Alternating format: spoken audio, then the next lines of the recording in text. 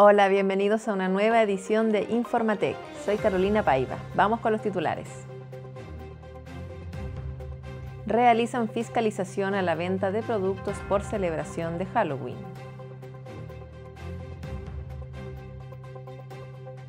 Mineduc lanza plan de bienestar docente en la Araucanía. Servicio de Protección realizó conversatorio para familias en post-acogimiento.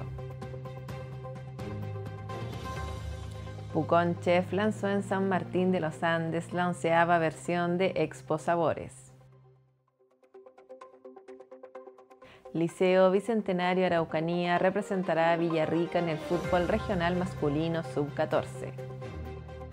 Con motivo de celebración de Halloween, autoridades regionales realizaron una fiscalización a la venta de productos. Más detalles a continuación con la nota de Constanza Ulloa. A pocos días de que comience Halloween, este miércoles autoridades realizaron una fiscalización a locales de venta de productos, como también entregaron recomendaciones a la hora de elegir disfraces y máscaras para esta festividad. Nosotros como Ministerio de Salud eh, hacemos una inspección respecto del cumplimiento del decreto 114, que es el, decreto que regula el funcionamiento, venta y constitución de los juguetes y también eh, el elementos accesorios que se utilizan, eh, sobre todo niñas y niños en estas fechas de Halloween. Eh, estamos verificando que elementos tales como por ejemplo las máscaras sean recomendados para mayores de 3 años y ciertas características, algunas máscaras solamente pueden ser usadas para mayores por mayores de 18 años, ya que en niños menores de 5 años puede provocar asfixia u desorientación. Asimismo, los elementos que se compren para Halloween, tales como disfraces, pelucas, eh, deben tener la menos inflamabilidad posible y nosotros estamos verificando estas condiciones en las 63 fiscalizaciones que llevamos eh, en la región y que se iniciaron el día primero de octubre. Asimismo, eh, también respecto a los accesorios, verificamos que accesorios tales como pintacaritas tengan autorización del Instituto de Salud Pública que garantiza que estos sean hipoalergénicos, es decir, que no generen irritación ni daño a la piel eh, o a distintas partes del cuerpo de nuestras niñas y niños en estas fiestas. Queremos que eh, este tipo de fiestas, que si bien son adaptadas de otras latitudes, puedan ser momentos de recreación y reencuentro familiar, sin riesgo a la salud y a la seguridad de nuestras niñas y niños en esta fiesta de Halloween, que también coincide con la eh, celebración del Día de los Muertos.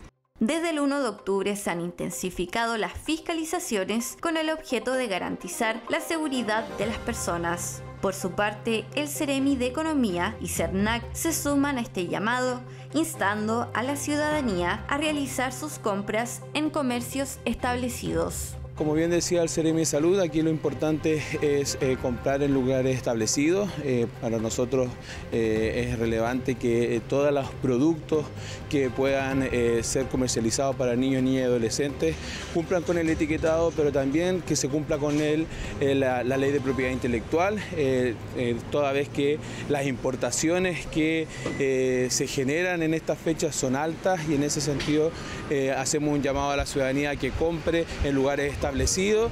Eh, nosotros como, como diferentes seremías estamos hace un tiempo trabajando en los temas de informalidad y el llamado a la ciudadanía es que pueda apoyarnos en aquellos, eh, comprando en lugares que cumplan con todas las normativas, tanto de la ley del consumidor como de propiedad intelectual y eh, con los derechos de seguridad social de las y los trabajadores. Estamos en estas fechas de celebración de una actividad de carácter recreativa para la ciudadanía donde eh, hacemos el llamado a los consumidores a comprar los productos para esta recreación en los comercios establecidos. Especialmente tener mucho cuidado con disfraces, con maquillaje y con los eh, caramelos que hoy día nuestros eh, jóvenes, pequeños consumidores están consumiendo.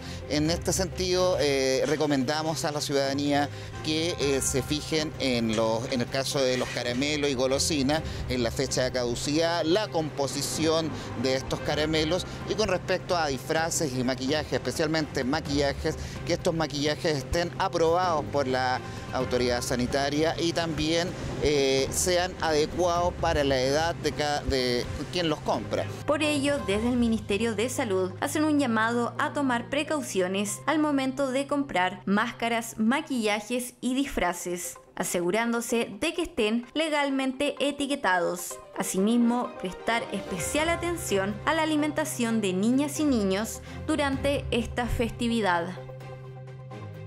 A continuación veamos otras informaciones que también son noticia. El Ministerio de Educación lanzó en la Araucanía su plan de bienestar docente, con el primer grupo de beneficiarios del plan de formación y acompañamiento para el bienestar socioemocional de los equipos educativos. Bueno, eh, primero destacar que es la primera vez en realidad que de parte del Ministerio existe una preocupación y en realidad ocupación por el bienestar socioemocional de los profesores, equipos directivos, asistentes de la educación, o sea, de, los, de todos aquellos que integran las comunidades educativas, ¿cierto? Y están en directa relación en el trabajo con los niños. Bueno, como universidad eh, estamos a cargo de la implementación de este plan que es pionero a nivel nacional en tres regiones del sur de Chile, Biobío, la Araucanía y los lagos. Y partimos en la Araucanía con 30 escuelas, 120 docentes el día de hoy para desarrollar un, un proyecto que tiene inicio en octubre del 2024 y una finalización en junio del 2025 en un proceso en que van a participar estas escuelas y en marzo del 2025 vamos a sumar a otras 25 escuelas de la región. Eh, rescatar que siempre los planes o lo que se está trabajando, se trabajaba desde el Ministerio de Educación iba apuntado a los estudiantes, ¿cierto? A los padres y apoderados. Hoy día nos hacemos cargo y nos preocupamos de la salud mental de los equipos directivos, asistentes de la educación y docentes de los establecimientos educacionales, que es tan importante para poder eh, fortalecer esa área y así trabajar mucho mejor con nuestros estudiantes y entregarle la mejora del aprendizaje, la asistencia y revinculación, todo lo que tiene que ver con nuestro plan de reactivación educativa el Servicio de Protección llevó a cabo un exitoso conversatorio en las dependencias ubicadas en Inés de Suárez, en Temuco, reuniendo familias que se encuentran en post-acogimiento. Esta actividad me parece esencial para los efectos de poder ver eh, que las familias de acogida especializada, ¿no es cierto? Aquellas familias que se han comprometido, ¿no es cierto?, con el cuidado de un niño, eh, puedan revelar, o sea, dar su testimonio respecto a cómo ha sido la experiencia y qué aspectos hay que mejorar. Bueno, la verdad que esta instancia es muy importante, dado que nos permite poder presentar y darle a conocer a familias que han acogido niños respecto de distintas necesidades y demandas que ellas nos han planteado en distintos encuentros y poder plasmarlas en un pequeño manual que tiene ciertos términos, conceptos que les permitan a ellos ser una guía para futuras familias que van a acoger o que se encuentran en acogimiento. Me pareció súper buena instancia poder escuchar a otras familias, poder escuchar a los profesionales, poder ver los avances, los que están trabajando, eh, me pareció muy, muy bueno, necesario. La agrupación Pucón Chef lanzó una nueva versión de la Expo Sabores Pucón 2024 en San Martín de los Andes, Argentina.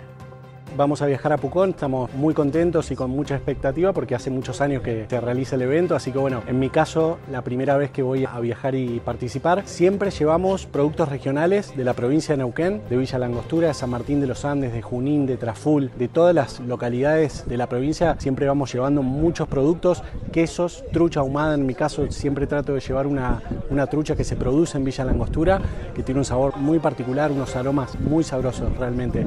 Así que, y vamos a hacer algo de gastronomía, vamos a estar cocinando también.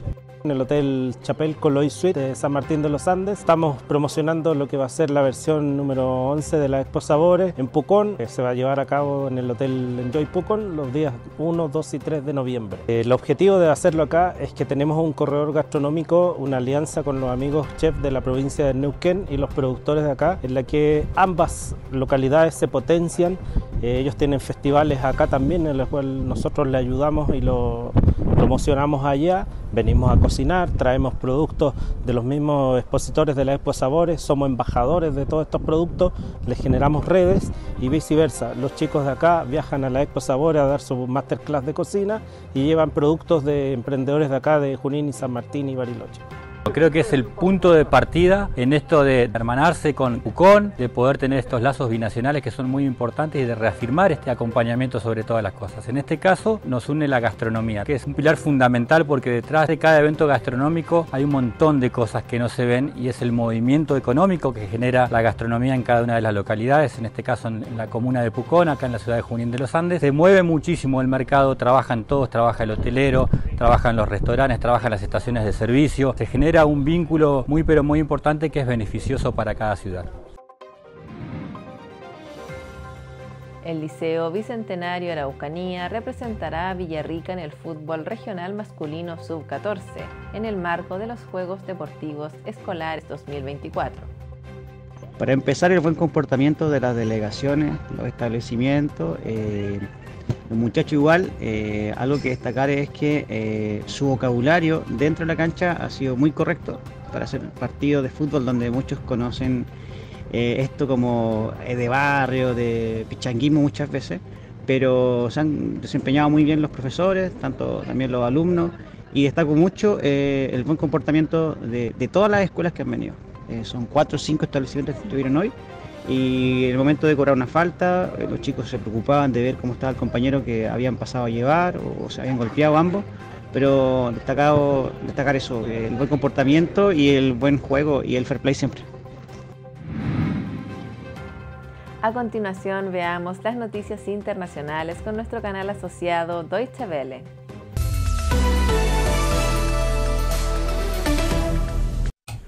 En Turquía, un asalto armado contra la sede central de la principal empresa estatal aeroespacial y de defensa en las afueras de la capital, Ankara, ha dejado al menos tres muertos y 14 heridos, según el gobierno.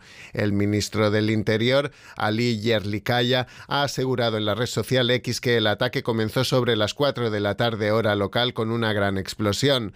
El canal de televisión Haberturk dice que el ataque continúa y que los asaltantes armados han tomado rehenes. El secretario general de la OTAN, Mark Rutte, le ha asegurado su apoyo al gobierno turco, miembro de la alianza.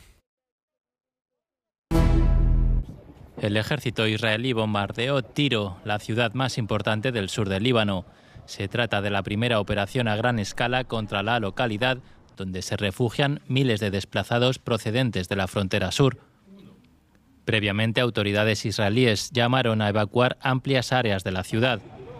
Israel asegura que ataca posiciones de Hezbollah. Previamente, el ejército israelí atacó los suburbios de Beirut, donde, según Israel, se concentra gran parte de la infraestructura de la milicia. La ministra alemana de Exteriores, Annalena Baerbock, dijo que el conflicto entre Israel y Hezbollah ha puesto al Líbano al borde del colapso. En una visita a Beirut este miércoles, Baerbock abogó por una solución diplomática al conflicto y advirtió que la desestabilización total del Líbano tendría consecuencias peligrosas para todo Oriente Medio. Es el cuarto viaje de Baerbock al Líbano desde los atentados terroristas de Hamas contra Israel un año atrás. 19 muertos dejó este lunes un operativo del ejército mexicano contra un grupo de delincuentes del cartel del Pacífico que permitió detener al presunto líder de una de las facciones de ese grupo. El arresto se produjo en la comunidad de Plan de Oriente, cerca de Culiacán, capital del estado de Sinaloa.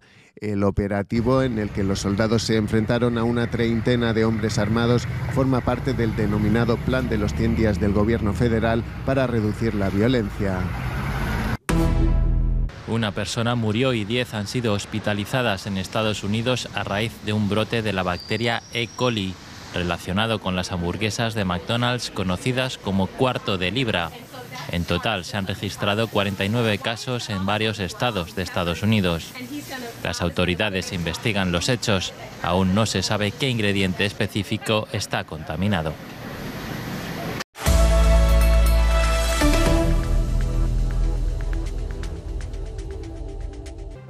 Luego de quedar informados del acontecer nacional e internacional, veamos el tiempo para mañana.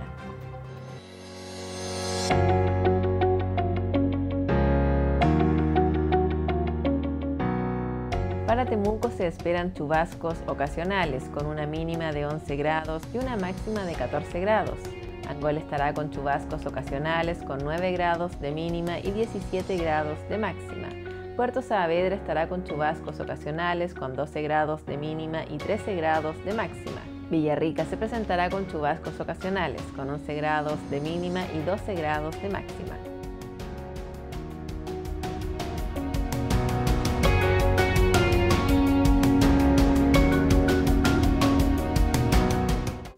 Después de conocer el informe del tiempo, damos por finalizado nuestro informativo para el día de hoy, recordándoles que nos pueden visitar en nuestras redes sociales que están apareciendo en pantalla y en nuestra página web www.tectv.cl.